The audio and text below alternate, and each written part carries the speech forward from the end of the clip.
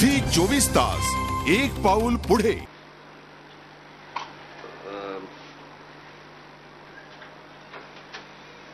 काल आणि परवा दोन दिवस मी नागपुरात होतो. आणि मग त्याच्यामुळे इथे ज्या काही घडामोडी झाल्या ज्या काही गोष्टी घडल्या अनेकांचे मला फोन आले की तुमची काय प्रतिक्रिया? पण मला ती मी मी पाहिलं नव्हतं वाचलं नव्हतं. आमदारांचेही मला फोन आले.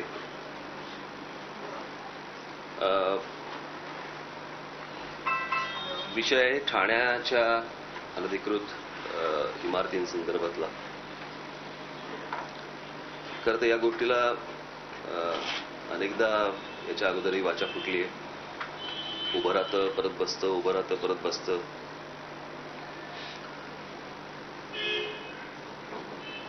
मध्यंतरी जी मुंबईला घटना घडली त्या घटना आणि त्याचा परत फोकस हा अनधिकृत इमारतींकडे आला. माझ्या अमरावती किंवा जळगाव कुठल्या तरी एका सभेमध्ये मी या मुंबऱ्याच्या इमारती संदर्भातला माझा मी उल्लेख केला होता. की ती इमारत बांधली आहे कोणी? आणि त्या इमारतीमध्ये दुर्दैवाची गोष्ट आहे जे लोक गेले त्या सगळ्या प्रकरणामध्ये इमारतीमध्ये जे सापडले जखमी झाले जे गेले त्यांच्याबद्दल वाईट वाटणं सहानुभूती असणं हे आलंच. पण शेवटी ती लोक होती कोण? कुठून आली होती? आणि त्यातले दोन्ही जे बिल्डर आहेत ते उत्तर प्रदेशचे आहेत आणि त्या इमारतीमध्ये हा पोलिसांचा रेकॉर्ड आहे. म्हणजे त्यांचा रिपोर्ट आहे. त्या इमारतीमध्ये जेवढे सगळे दगावले ते सगळेचे सगळे जवळपास उत्तर प्रदेशमधले आहेत आणि त्यातले जवळपास ऐंशी टक्के मुस्लिम्स आहेत आणि दहा वीस टक्के हिंदू आहेत.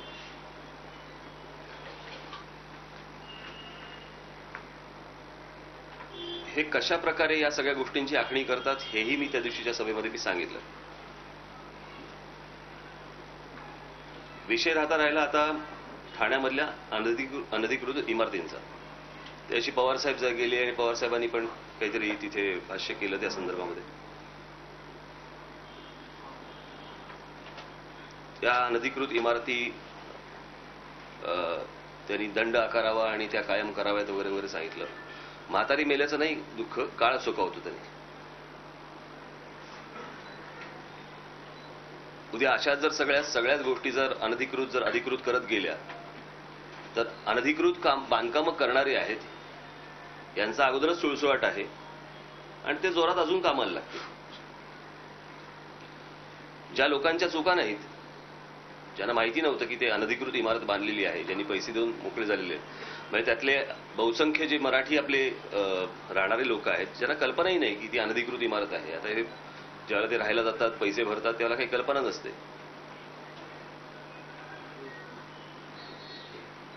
म्हणजे ते तर या महाराष्ट्राचे प्रथम नागरिक आहेत जे मराठी लोक आहेत ते. आणि जे नागरिक आहेत जे अधिकृत नागरिक आहेत त्यांच्यावरती आज अनधिकृतपणाचा ठप्पा बसतोय. केवळ या बिल्डरांमुळे. उद्या काहीतरी त्या ठाण्यामध्ये बंद बिंद पुकारलाय. मला या सगळ्या अख्ख्या प्रकरणामध्ये एक गोष्ट कळत नाहीये की कोणीही त्या बिल्डरांना पकडा. त्यांना दहा ते पंधरा वर्षाची तुम्ही सजा करा. त्याच्यासाठी म्हणून विधानसभेमध्ये कुठेतरी ठराव मांडा. तशा प्रकारचा कुठेतरी कायदा करा. आणि या बिल्डरांना शिक्षा करा. याच्याबद्दल कोणी तोंड उघडायला तयार नाही त्याच्याबद्दल कोणी बोलायला तयार नाही. माझं तर असं मत आहे ते बिल्डर असेच बिल्डर काम करतात. एका रात्रीत तर इमारती उभ्या नाही राहत जे बिल्डर्स अशा प्रकारे इमारती उभ्या करतात त्यांना स्थानिक नगरसेवक आमदार पालिका अधिकारी यांचं सहकार्य असल्याशिवाय या इमारती उभ्या राहू शकत नाहीत. आता ही ज्या मुंबऱ्याची घटना घडली त्यावेळेला त्या तिथल्या पालिका कुठेतरी उपायुक्त का कोणा त्याला काहीतरी सस्पेंड केला. नगरसेवकांना कधी सस्पेंड करणार? इतर जे लोक आहेत यांना का नाही सस्पेंड केलं जात? जे निवडून येतात ते? आणि माझं तर असं म्हणणं आहे की हे जे जेवढे बिल्डर्स आहेत या सगळ्या बिल्डरांना एकत्र पकडा त्यांचं इंट्रॉगेशन करा. आणि या इमारती बांधताना त्यांना कोणी मदत केली? कोणत्या नगरसेवकांनी कोणत्या आमदारांनी? कोणत्या पालिका अधिकाऱ्याने त्यांना मदत केली? त्या सर्वांची त्या सर्वांना सस्पेंड करा. त्यांच्यावरती कुठची कारवाई होत नाही. आणि हे जे अनधिकृत अधिकृत करा म्हणून सांगितलं जातंय हे त्या बिल्डरांसाठी केलं जातंय. कारण त्या बिल्डरांच्या इमारती ज्यावेळेला बांधल्या गेल्या त्यावेळेला यांनाच चिरीमेऱ्या मिळाल्या आहेत यांनाच पैसे मिळालेत. यांच्याच पाठिंब्याने या इमारती बांधल्या गेल्या आहेत. त्याच्यामुळे बिल्डरांवरती कोणी बोलत नाहीये. इमारत ही उद्या पडल्या माणसं मेली तरी चालतील. पण आमची वोट बँक इंटॅक्ट राहू देत. याच्यासाठीचे हे सगळे प्रयत्न सुरू आहेत. आणि जो काही प्रकार आज तिथे ठाण्यामध्ये शिवसेना आणि राष्ट्रवादी लोक एकत्र येतात या विषयावरती. म्हणजे माझं असं म्हणणं आहे की ती तिथली जी लोक आहेत त्या तिथल्या लोकांना दुसरीकडे हलवा त्यांच्यासाठी नवीन चांगल्या इमारती अधिकृत बांधा. नाहीतरी परराज्यातनं येणाऱ्या लोकांना तुम्ही फुकट घर देताच आहात. हे तर आपलेच आहेत. परंतु अशा प्रकारचा कुठचाही ठराव अशा प्रकारची कुठचीही गोष्ट विधानसभेमध्ये होत नाही. आणि ज्यांनी कृत्य केली आहेत त्या सर्व बिल्डर मोकाट सुटलेले आहेत. त्यांना पाठिंबा देणारे सगळे नगरसेवक आमदार मोकाट सुटलेले आहेत. मी तुम्हाला आत्ताच सांगतो तुमच्या मनात शंका यायच्या अगोदर जर उद्या अशा प्रकारच्या अनधिकृत गोष्टींमध्ये जर माझे नगरसेवक आणि आमदार असतील तर त्यांनाही सस्पेंड केलंच पाहिजे. ते जर अशा प्रकारच्या गोष्टी वाढवत असतील आणि मी आज तुमच्याच साक्षीने सांगतोय की मुंबईत असेल नाहीतर अजून पुण्यात असेल नाहीतर ठाण्यात असेल नाशिकमध्ये असेल इतर कुठेही असेल माझ्या नगरसेवकांना सांगू इच्छितो की कुठच्याही ठिकाणी तुम्ही अनधिकृत बांधकामांना प्रोत्साहन देता कामा नये नाहीतर मी त्याला पक्षातनं काढून टाकेन. पण या इमारती बांधणाऱ्यांबद्दल आणि त्यांना पाठिंबा देणाऱ्यांबद्दल कोणी बोलत नाहीये फक्त ह्यांची वोट बँक इंटॅक्ट ठेवण्यासाठीचा हा सगळा प्रयत्न आहे. म्हणून उद्याचा ठाण्या बंद ठाणे बंदला माझा पाठिंबा नाही. माझी ठाणेकर सर्व जनतेला माझी विनंती आहे की त्यांनी देखील पाठिंबा देऊ नये कारण जोपर्यंत ह्याचा छडा लागत नाही की या इमारती बांधणारे कोण आणि त्यांना पाठिंबा देणारे कोण ज्यांच्या आशीर्वादावरती ह्या सगळ्या गोष्टी आजपर्यंत उभ्या राहिल्या आणि ज्याच्यामध्ये आज आपला मराठी माणूस तिकडे होरपळून निघतोय या लोकांना धडा शिकवल्याशिवाय यांच्या बंदला पाठिंबा देण्यात काय अर्थ आहे? हे यांची फक्त राजकीय गोष्टी फक्त करून घेत आहेत.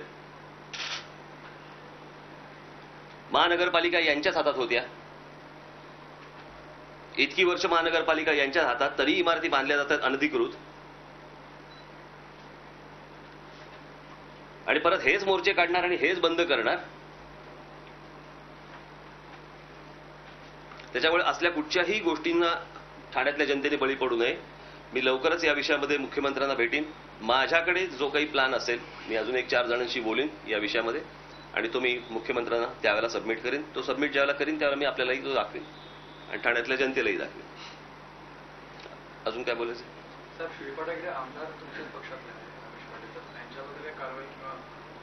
नाही प्रश्न असा आहे की मुळातच तो मुमरा भाग. बरोबर आहे? त्यांचा आमदारकीचा भाग येतो कुठे? तिकडे नगरसेवक कोण आहे? त्यातला एक कोपरा. हा जर त्या आमदाराच्या इकडचा येत असेल. आणि त्याच्याबद्दलचं पत्र हे सहा दिवस अगोदर माझ्या आमदाराने महानगरपालिका आयुक्तांनी दिलेलं पत्र माझ्याकडे आहे. की अशा प्रकारची अनधिकृत अनधिकृत इमारत बांधली जाते. ती ती धोकादायक आहे. ती पडेल कोणत्याही क्षणी. याचं पत्र हे रमेश पाटलांचं माझ्याकडे आहे. ज्याच्यावरती आयुक्तांच्या कार्यालयामधनं रिसिव्ह अशी कॉपी पण आहे त्याच्यावरती. हे बरोबर सहा दिवस अगोदरचं पत्र आहे. सहा का सात दिवस अगोदरचं. इमारत पडायच्या अगोदरचं. त्याची जर दखल तेव्हाच जर घेतली गेली असती तर मला असं वाटतं ही घटना घडली नसती. इमारत पडली असती पण माणसं दगावली नसती. आणि प्रश्न असा आहे ना की जो नगरसेवक तिथला असतो त्या नगरसेवकांना या सगळ्या गोष्टी माहिती असतात. वॉर्ड छोटा असतो. त्याच्यामुळे वॉर्डमध्ये कुठची गोष्टी चालू आहेत कुठच्या इमारती नको नको त्या लोकांना त्रास देत असतात हे फोन करून आणि पत्र पाठवून. वॉर्ड वॉर्ड ऑफिसकडे. की याचं अनधिकृत बांधकाम चालू आहे याचं असं असं चालू आहे आणि त्याच्यानंतर पैसे उकळायचे. हे सर्रास या सगळ्या अख्ख्या महानगरपालिकांमध्ये चालू आहे. एक अं, रमेश पाटील यांच्यावर आरोप आहे की डोंबिवलीतली शाळा त्यांनी अनाधिकृतरित्या असेल तर तो तोडलीच पाहिजे. त्याच्या विरोधात कंप्लेंट केलं तर जर ती अधिक अनधिकृत असेल तर ती तोडली गेलीच पाहिजे. मी तुम्हाला सांगतोय माझ्या पक्षाचे असो किंवा इतर पक्षाचे असो असल्या कृत्यांना थारा देता कामा नये.